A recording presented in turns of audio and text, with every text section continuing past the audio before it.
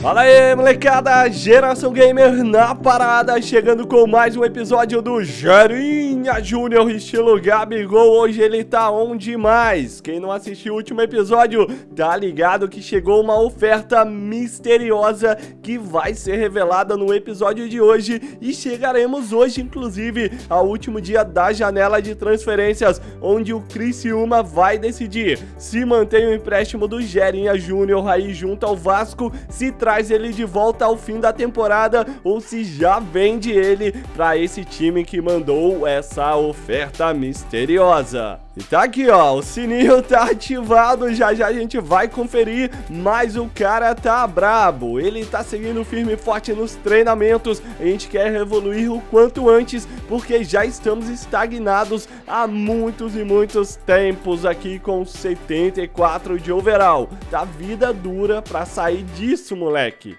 Ai, pra quem tá ligado e sempre pergunta, ele já tem quatro habilidades especiais. Cabeçada, reposição baixa de goleiro, pegador de pênaltis e liderança. Em busca de dias melhores, temos a Tom Bense na última rodada do primeiro turno e dias melhores a gente tá muito bem. Quatro vitórias seguidas. Pegamos o Red Bull Bragantino, temos o jogo contra o Criciúma, mas pra quem não tá ligado, a gente não pode jogar, já que estamos com contrato junto ao time de Santa Santa Catarina. Voltamos para encarar o Brusque e depois o Náutico até chegarmos ao último dia da janela. Já estamos em São Januário para o primeiro jogo e eu falei que eram quatro jogos de 100%. Na verdade, são cinco vitórias consecutivas e podemos buscar a sexta. Depois tem um jogo diretaço contra o líder do campeonato, o Red Bull Bragantino. Então já estoura, arrebenta, detona, esmurra, faz o que você quiser, mas deixa esse like aí azulzinho, moleque, e se inscreve se é novo, ativa o sininho. Bora rumo a 300 mil inscritos. Me siga no Instagram, confiram os stories por lá e também confiram Geração Gamer 2, nosso canal secundário também de futebol virtual. Primeira chance é do Vasco da Gama, olha só a jogada pra cima do time do Tombense, defesaça do goleiro deles. Cobrança de escanteio, a chapada do Nenê veio na medida, mas o Raniel furou na cabeçada. Tom Bense malandrão, hein, cara? Malandrão, aliás, já que Tom Bense se fala no masculino. Obrigado a um inscrito que me corrigiu, cara. E olha que eu sou de Minas Gerais. O time do Tom Bense tem essa bola parada. E vem na bola o Walter. Prepara ali para bater de direita. Muitos jogadores na área. Ele puxa no segundo pau. Defesa afasta, mas volta aí com o Falcão. O camisa 6 do time deles. Vão tentando o toque já no segundo tempo. Bola forte. Não deu para mim segurar, velho. Tive que espalmar aí pro canto. Uma bola venenosa veio caindo, veio com curva. Veio naquele jeitinho que nenhum goleiro gosta. Mas quase que a gente tomou um frangaço. Quase, quase, hein? Passou perto, Gerinha Júnior. O Walter é quem bate. Vem bola, vem bola, primeiro pau, mano. Centroavante subiu sozinho, ninguém na marcação dele. Olha que incrível. Garoto Lucas Figueiredo, a chance de fazer 1 a 0 é tua, moleque. Não perde essa, ele perdeu. Toca por cima. Bola esticada pro Iago Rocha, cruzamento, defesa tira, voltou no Everton, vai bater pro gol, bateu com desvio. O Gerinho escorregou, mano, na hora que a gente preparou ali pra dar impulsão pro salto, ele literalmente ficou no chão. A nossa grande sorte é que essa bola passou pra fora. Na cobrança aí o Walter. Levantou, vai Gera Júnior. Saiu muito bem de soco. Volta pro gol, Gera. Volta pro gol, mano. O cara tá com a bola. Cara, a gente não pode perder esse lance. Olha só a jogada com o Nenê. Chapada de lançamento. Deixou na cara do gol. E ele não perde. É gol do Vasco. Depois da pressão da Tombense. O Cruz Maltino sai na frente. 5 de acréscimo, bora pro ataque. Não vai ter mais chance, não tem contra-ataque. Olha o Gerinho, olha o Gerinho ali. Nossa, mano. Eu tô a meia hora puxando pra ele puxar pro meio. Só que é goleiro, né, mano? Às vezes o comando não obedece. E o Vasco vence. Sarrafiori marcou. E aí, manos, estamos em São Januário agora sim, preparados para encarar o Red Bull. Duas notícias, uma boa, uma ruim. A ruim é que eles venceram e segue os cinco pontos. Agora a boa é que o Gera Júnior finalmente saiu dos 74. Agora somos 75 de overall. Começando com tudo, Vasco Rani é o camisa número 5. Abre o placar em São Januário na saída equivocada, comeu mosca, pai. A gente toma. Raniel recupera, toca, pede na área e sobe livre de cabeça. Preparado aí, o Arthur é o craque do time. Vai bater de canhota, olhou pro gol! Gera Júnior! O jogo mais importante da Série B pra gente. O Mister Defensor de gols de falta. Tá onde mais, cara? Pega mais uma. Escanteio pro Red Bull. Vem o Arthur de novo, bola parada é com ele. Segundo pau subiu o Ítalo, mas a defesa antes. Arthur de novo, encara a marcação do Vasco, 20 minutos de partida, o jogo tá quente, tá bem disputado. Líder e vice-líder da Série B. Essa carequinha que até brilha na chuva, quase faz o gol do empate. É o Ítalo, centroavante bom de bola pra caramba também do RB. Tem bola na rede, tem Vasco de novo. O adversário pressiona, pressiona mais. Quem faz gol aqui em São Januário é o Vascão da Gama. Olha o Nenê, 40 e cacetada brigando de carrinho, dando passe e saindo na comemoração. E o Raniel veio para fazer mais um gol, mas estava impedido e também mandou por cima. Lançamento pro Nenê. O veterano olha, faz o cruzamento. Raniel, quase, quase. Ítalo, Ítalo, não passa daqui, não adianta. O Gerinha fecha bem o ângulo. O jogador do Red Bull tá tendo espaço, ele tá gostando, ele tá chegando. Mas, cara, a bola ainda toca na trave. Red Bull tá na pressão, o Ítalo bateu de fora e com o gramado molhado, Gerinha amortece e fica com ela. Coelho toca no Ítalo, bateu, vem de duas, Gera Júnior faz a defesa. Tony Anderson rolou ela pro Emiliano, bate de fora, Gerinha encaixa. Red Bull tenta, vai pressionando, mais 2 a 0 pro Vasco. Aí não dá, lateral rapidinho pro Arthur, ele mete a cabeçada na bola, sobe livre, faz 2 a 1 o Red Bull volta a ficar com chances. Vitória pra cima do Red Bull, mais do que importante, dois pontos agora, cara, e abrimos aí do quinto colocado 10. O Vasco praticamente vai se consolidando no G4, de olho na vaga pra primeira divisão, e a gente na expectativa, se vamos ficar, se vamos sair, ou se voltamos pro Criciúma. Inclusive o jogo contra o time catarinense, a gente não pôde jogar, o Gerinha não pode jogar contra o time que é dono dele, e a gente tomou 3 a 0. O Vasco poderia se tornar líder, o Red Bull empatou o jogo, estamos a 3 pontos deles e o Criciúma sobe para nono lugar. Só bora então encarando o time do Brusque, mais um time aí do Sul, é hora de vencer de novo e buscar o Red Bull. Só que aí dá duas chances pra ele, dá duas chances pro Lucas Figueiredo, mano, ele não desperdiça. O Vasco abre o placar em São Januário, com essa bola chegando, oh, estufa as redes. Mais uma tentativa vascaína, vem de tabela Lucas Figueiredo pra fora.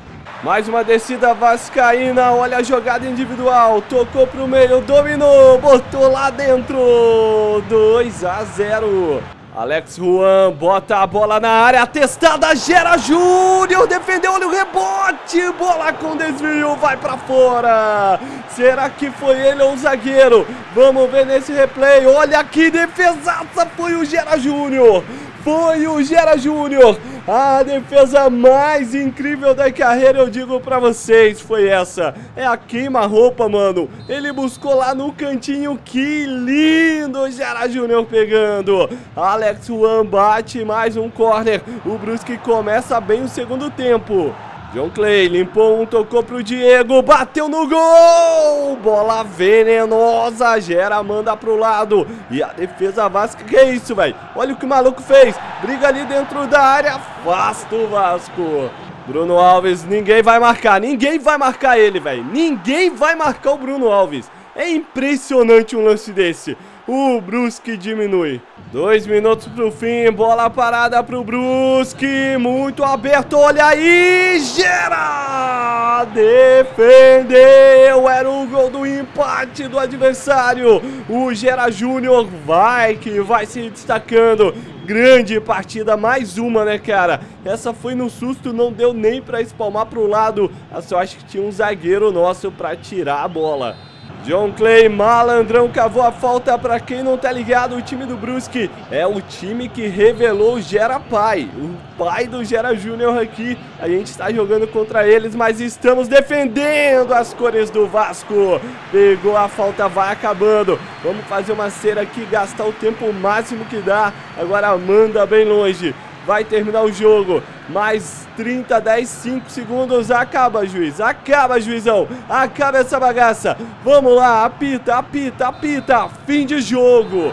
Deu Vasco. Gera segurou o placar. O jogo parecia fácil no início. Se complicou no segundo tempo. Red Bull Bragantino perdeu do Vila Nova por 1 a 0. Esse resultado a gente se iguala ao time de São Paulo. Só ficamos atrás deles no saldo de gols que é absurdamente maior para eles. Exatos aí, mano, 15 gols a mais. É um negócio de louco, mas a gente tá empatado em pontos. Agora o anúncio do Bola de Ouro, Lionel Messi, melhor jogador do futebol europeu. Chegamos então ao último jogo antes do fechamento da janela. A gente vai conhecer a oferta e saberemos o nosso futuro após o jogo contra o Náutico. Para ser bem sincero, eu espero que o Criciúma não aceite a oferta e nos deixe permanecer aqui no Vasco, pelo menos para levar o time time a Série A. Gerinha seta pra baixo. Eita! Estádio dos Aflitos, clima de jogão, o Náutico ainda sonha com uma classificação e o Vasco quer a liderança, bola já tá em andamento. Gol relâmpago, mais um, mano, mais um gol relâmpago do Vasco, saída bizonha do zagueirão, entregou paçoquita com doce e tudo. O Raniel chegou chegando, bota lá dentro, Vasco 1 a 0. Aldinei, olha a bola, cabeçada, o Náutico chegou. E tem na cara do gol, balança a rede. O Náutico empata. Olha o lançamento. Boa troca de passes aí na tabelinha. O centroavante recebeu por cima livre. Quase que a gente toca nela.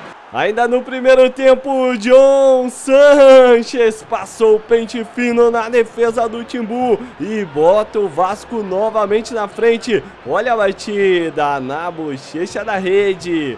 Vem bola na área, Jean Carlos levantou, olha o desvio, gera, chega atirando junto com o zagueiro. Mais um corner aí pro Náutico. Preparado do outro lado, o mesmo Jean Carlos. 60 minutos de jogo, o Náutico acredita no empate, olha o Júlio, essa era minha, zagueiro. Deram falta, caraca, moleque. Deram uma falta, deu pênalti. Ele tá marcando o pênalti. Ele tá marcando o pênalti pro Náutico. Eu achei que essa bola foi fora da área, hein? Vamos ver no lance. Aí o camisa 10 dominando. Ah, caraca, moleque. Mas foi muito dentro da área. Pênalti pro Náutico. Gera Júnior, segundo pênalti da carreira. Vamos pegar, vamos pegar, vamos pegar. Gera Júnior.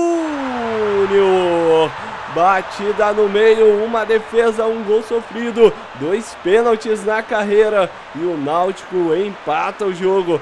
Essa bola no meio, cara, é cruel, né? Que você fica na dúvida se vai pular ou não.